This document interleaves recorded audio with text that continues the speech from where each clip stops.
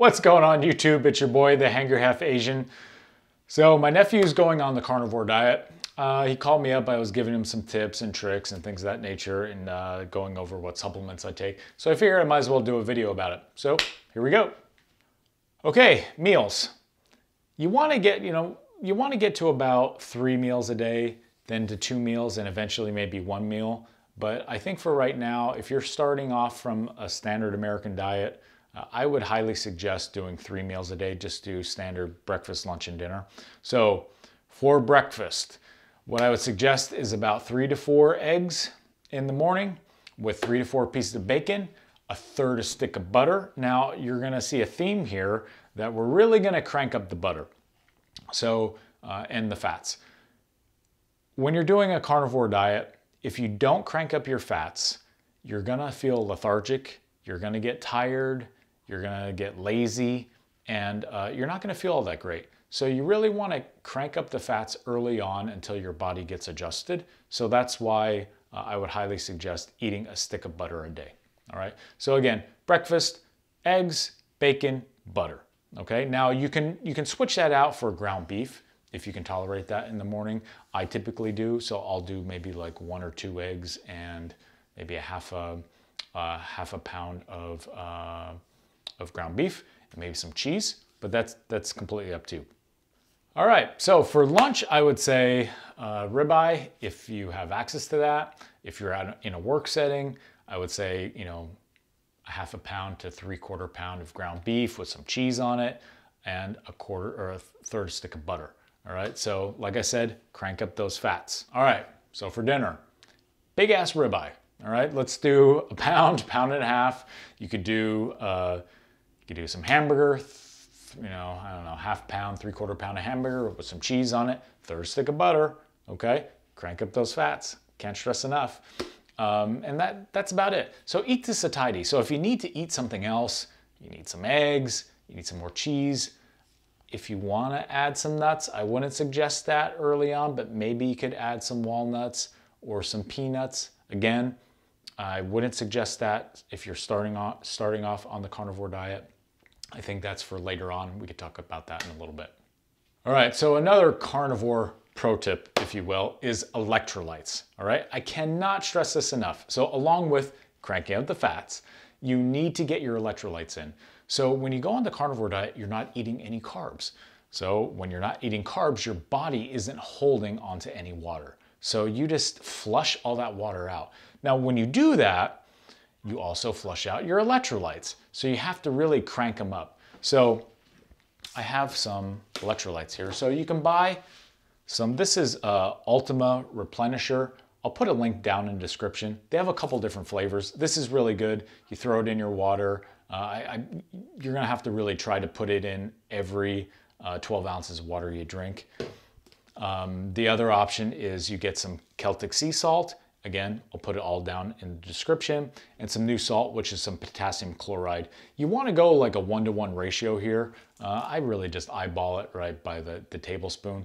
Um, the snake diet, if you ever heard of it, they have a, a, recipe for what they call quote unquote snake juice, which is really an electrolyte drink. I would also suggest maybe doing that at least in the interim. I'll put a link down in the description for the snake, the snake juice. But you really want to crank up your electrolytes, okay? So I can't, I can't really stress this enough that you're going to have to almost overdo it with salt and potassium. Um, if you don't, you're gonna you're, you're gonna get the keto flu. So because you're flushing out all these carbs out of your body, you get a little bit of the DTs, right, from not having sugar, uh, you know, in your body and you're gonna you're gonna go through withdrawal. And uh, a lot of people feel like they have the flu. And uh, one way to combat that is electrolytes. Okay, I don't know if this is I don't know if this is really a, a pro tip or not, but it's really just don't worry about pooping. Okay, so I didn't really have this problem, but you know my partner did. She she pooed her face off. Uh, I know a lot of other people. You'll hear it. Uh, when you're on the carnivore diet about the third or fourth day, all the microbes in your body start to die off that were really, you know, digesting carbohydrates, right? And fermenting carbohydrates. So when they all die, you end up pooping a lot. For whatever reason, I didn't really have that experience. I had the reverse. I actually got constipated. So everyone's a little bit different, but keep in mind that there is going to be an adjustment period. Sometimes it can be a couple days. Some people have said that they pooed their face off for up to two weeks. Um, for me, I was constipated. You know, I'm pooping, I'm still now just pooping like every third day or fourth day and really just a small amount.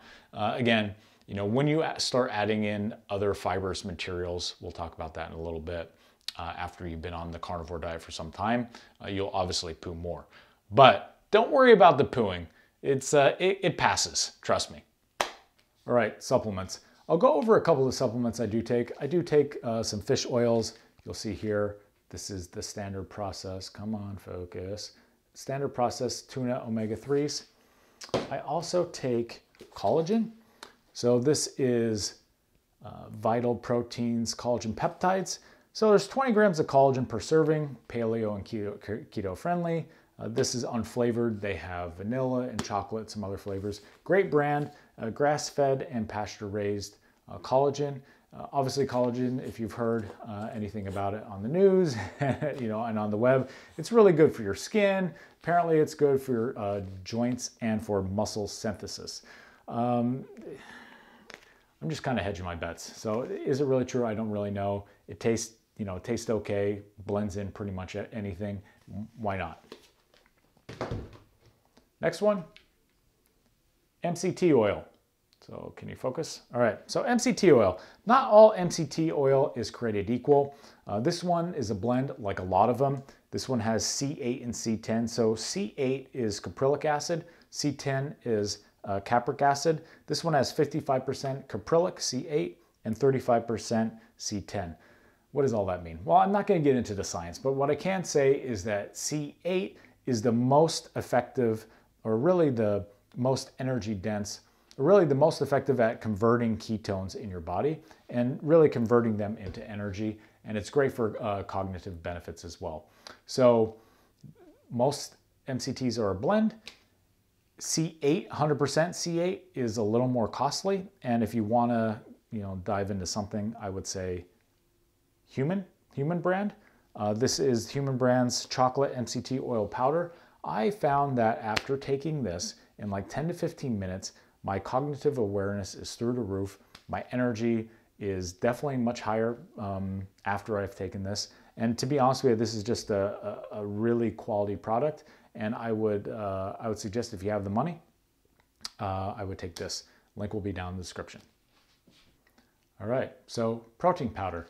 Now, if you're like me, a gym rat, you know you're just used to taking protein powder right? So you're mix, you know you're mixing your whey protein after you know before and after a, a gym session. So if you really feel like you need protein this is PaleoPro it's uh, organic egg and uh, grass-fed beef that's essentially just ground up with a little cacao and monk fruit. It's absolutely amazing right? Tastes like tastes like protein. Um, mixes really well i put it in uh, macadamia nut milk. You can put it in almond, almond milk, what have you. But it's a great product. Uh, it's a little pricey though. Again, link will be down in the description. But I would highly suggest if you're, you know, if you feel like you need to take protein powder, I would definitely take this. All right, guys. I hope you liked the video. Please give me a thumbs up. Please subscribe to my channel and uh, leave a comment down below. Tell me what you want to see next. All right, thanks, guys. I never.